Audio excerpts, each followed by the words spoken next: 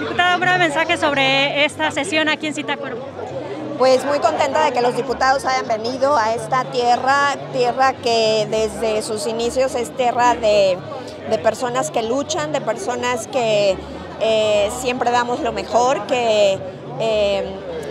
invitarlos a que sigan viniendo y que cada año se celebre, felicitar al galardonado y, este, y pues invitar a que la gente verdaderamente trabajemos como los insurgentes con una lucha de, em, para mejorar y para hacer equidad a toda la ciudadanía.